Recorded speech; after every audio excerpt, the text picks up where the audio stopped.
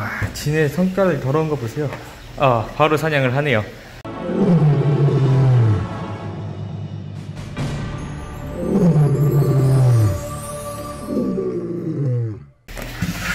저 안녕하세요 알량농장입니다 오늘은 간만에 개구리가 아닌 네 절지류 자이언트 진의 얘들로 찾아왔습니다 지금 얘들 보여드린 애들은 어, 기억하실 분 기, 기억하시는 분 계실지 모르겠네요 제가 작년 이맘때에 브리딩한 어, subcrustalis 필리핀 어, 녹색으로 자라는 필리핀 지네죠 꽤나 크게 자라고 꽤나 매력적인 애들입니다 클수록 조금 더 녹색으로 자랄 건데요 어, 얘들이 이제 1년이 돼서 알량농장에서도 이제 분양을 시작할 겸해서 어, 여러분들께도 알려드리려고 영상을 찍어봤습니다. 자, 은근히 멋있지 않나요?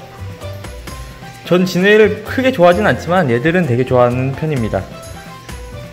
그래서 잠깐 조금 확대하고 먹이를 한번 먹여보겠습니다. 먹어볼래?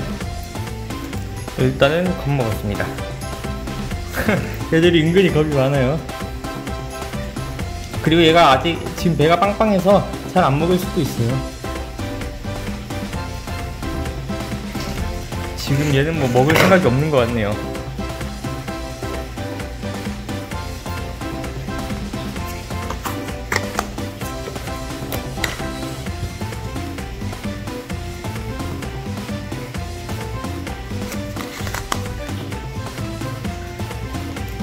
다른 일도 먹이를 하나씩 넣어줄게요. 어, 뭔가 사냥할 듯 말 듯 하네.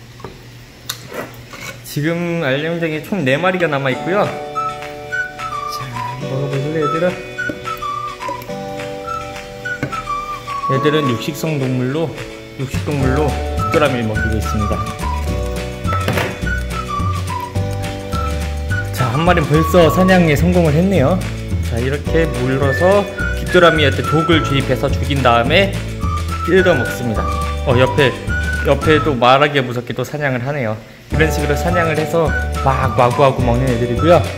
이렇게 보시면은 저는 등강류 애들하고 같이 합살해서 키우고 있어요. 등강류 애가 새끼 같네요.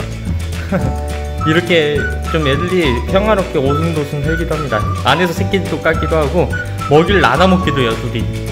생각보다 애들이 등각류를 안 건드려요.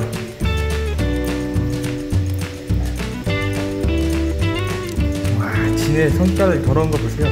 아 바로 사냥을 하네요 일단은 이 Green Jade Centipede 혹은 필리핀 Green Centipede 혹은 subcrustalis 이렇게 불리는 녹색 지네고요 지네들 중에 몇 안 되는 거의 유일하게 나무위성종 지네고요 나무위성종 지네답게 burrow를 안 합니다 이게 나무위성이라 나무위성으로 말 그대로 나무위성으로 키워도 되고 이렇게 극배회성으로 키워도 됩니다. 땅을 안 판다는 거는 이제 지네의 아주 큰 장점이죠. 다른 지네들은 다 땅을 파고 들어서 잘 관상이 안 되는데 이 지네들은 땅을 안 파고 들어서 언제든 관상이 가능하다는 특징이 있습니다. 또 발색도 아주 예쁘고요. 자 이렇게 아름다운 Green Jade Centipede 어, subcrustalis 중에서 한 마리당 10만원에 분양을 하고 있고요 4마리밖에 안 남았습니다 얘들이 이제 막 더위에 약해서 잘 죽는다 이런 말이 있었는데 얘들은 이제 한국 기후에 완전히 적응된 1년 동안 별다른 냉방 온, 온열기구 없이 한국 기후를 버틴 강한 애들입니다. 한국의 기후를 전부 다 이겨낸 애들이에요. 오 간다. 근데 얘는 제일 큰 얘는 지금 배가 부른지 사냥을 안 하네요. 이렇게 쬐깐한 어, 지금 먹을 듯 말 듯 하는데 안 먹을 거예요 아마. 지금 배가 너무 빵빵하기 때문에 배가 안 고픈 것 같습니다. 이렇게 보시면은 사냥해서 막 와구와구 뜯어먹고 있죠? 잘 보이시려나 모르겠는데 이렇게 꽉 안은 다음에 막 뜯어먹습니다. 은근히 귀여워요 보고 있으면은.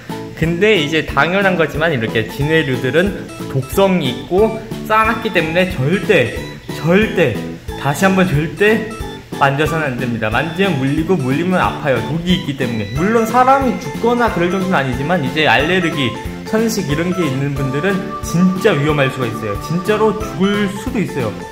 그렇기 때문에 이제 알레르기나 이런 천식 같은 게 있는 분들은 키우는 걸 권장드리진 않고요. 어, 그 밖의 분들은 이제 관상생물로 한 번씩 길러보시는 것도 권장드립니다.